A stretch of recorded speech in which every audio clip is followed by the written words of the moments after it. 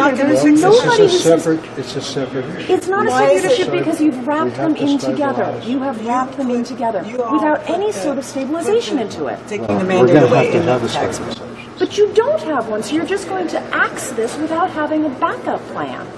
You have nothing to come in and save these small hospitals.